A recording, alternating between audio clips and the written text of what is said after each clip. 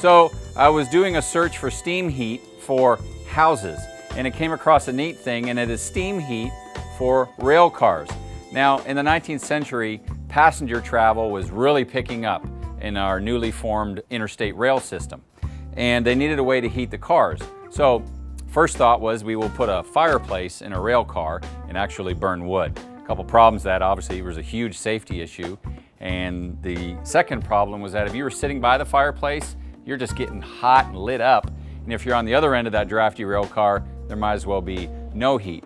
So some smart people said, look, we got a steam locomotive, so let's pull some high pressure steam off of that thing and run it to some radiators.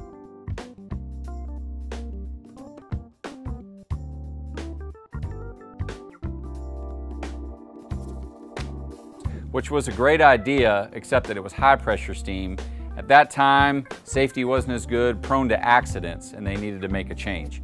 Also making a change at that time was leaving the steam locomotive era and moving into the diesel era. So with that became the invention of the low pressure steam generator rail car.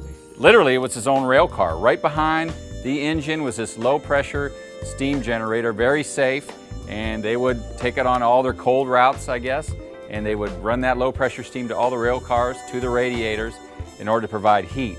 Interesting tidbit, they also use that low pressure steam to provide cooling.